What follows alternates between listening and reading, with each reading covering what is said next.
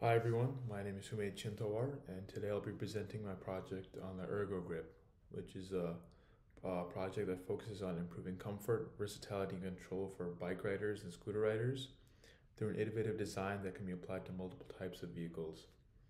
Uh, this is for strictly educational purposes only, and here let me let me just let's just dive into the details. Uh, so here's the project overview.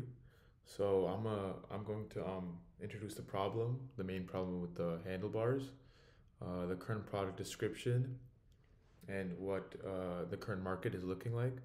Uh, my uh, proposed modification, CAD sketches and uh, graphics, the manufacturing processes for this product, and different materials that can be used, and then finally advantages, advantages and disadvantages for this product, and then the, my references for this. So the product I'm focusing on is, is on the handle grips, which is commonly used used on bikes and scooters. While these grips are essential for rider comfort and control, many users face issues with hand fatigue, discomfort over long rides, and a lack of adaptability. Standard grips and uh, handlebars have not always been designed with ergonomics in mind, nor are they easily transferable between different vehicles for a lot of different um, users.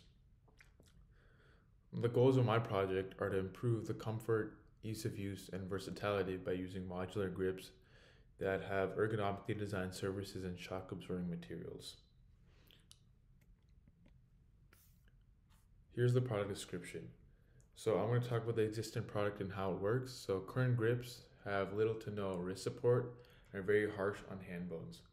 And uh, there have been many studies that have linked um, excessive uh, poor handlebar use on bikes and scooters with uh, excessive pain in the wrists, hand bones, and just overall fatigue and discomfort. And um, specific handlebars cannot be transferred between vehicles and does not have hand contours. The limitations here are clear. There's a need for improved comfort, better grip in various conditions, and modularity to allow users to switch the grips between vehicles quickly. So the design concept is to create modular hand grips, as I've stated before. So here in the top right corner, I have uh, uh, a computer sketch of my proposed solution. Uh, a lot of handlebars are very rigid and stiff and are cylindrical, which does not fit our hands, which are very um, uh, unorthodox. So I propose to create a resting surface and different finger grooves and a palm rest for ergonomics, and a textured pattern to improve the grip, even in wet and sweaty conditions.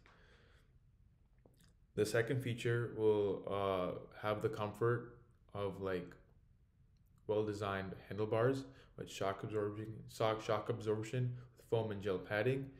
And my plan is to use materials like soft rubber, foam padding, and a durable locking system to make sure that everything can fit in place and it's easy for ease of use and versatile for users. Uh, here's my CAD model. You can see that um, there's different resting points for different grooves on the fingers. And there's also uh, a palm rest behind this, which shows which, which uh, people can rest their hands on, which makes riding bicycles and scooters a lot easier. Um, here's a CAD model, the video of the CAD model.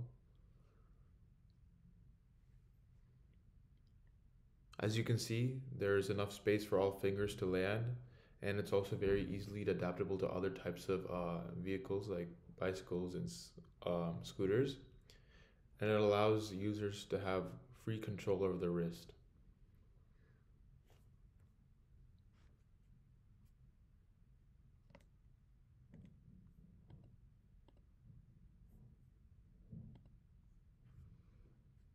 Uh, for manufacturing, several processes will be used to ensure both durability and comfort in the design. First, injection molding will be used for the outer silicone shell. This is to be used to uh, be weather resistant and make sure that it's easy, uh, it feels okay on the hands.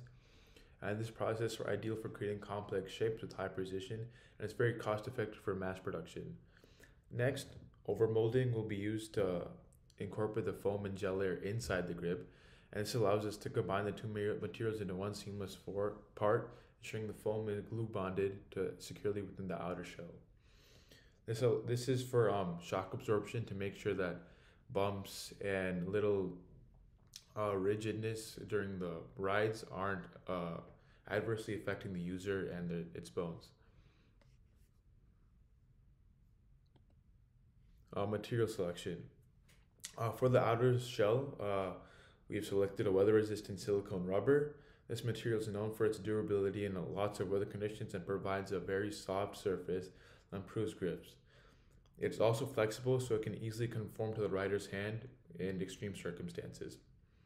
The inner padding will be made from memory foam or gel, and these both of these materials have a high uh, shock absorption and are well known for providing comfort. The gel in uh, particular offers greater longevity and resilience compared to the standard memory foam. Advantages and disadvantages. Um, so there are a lot of advantages, pros, and a lot of cons to this, obviously. On the positive side, these grips greatly improve comfort, their ergonomic design and shock absorbing materials, and their modularity adds a layer of convenience as users can easily swap grips between bikes and scooters, reducing the need to buy multiple um, hand conforming and ergonomic grips. And the high quality materials ensure durability and weather resistance, meaning the grips will last for a long time under various conditions. However, due to these pros and higher uh, costs, there will be uh, from some drawbacks. So the use of premium materials like silicone and gel will, result in higher manufacturing costs, which could lead to a higher price point for customers. And then the grips might be slightly bulkier than the traditional ones, which could lead to um, a disadvantage for those looking for minimalist designs and those who are looking for very high speed and acceleration. And finally, grips are designed to be universal, but there must still be limitations for extreme handlebar sizes like the one in the picture. A lot of sports bikes might also have some limitations due to the uh, hand placement.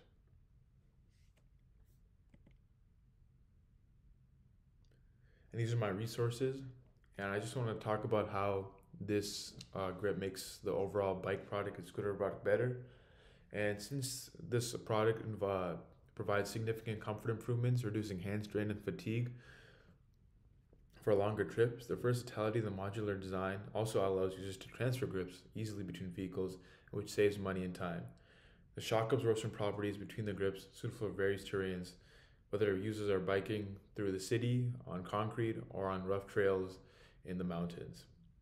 It will make sure that users have a uh, fun, fun time doing their thing and they will not be irritated by uh, different bumps and road conditions.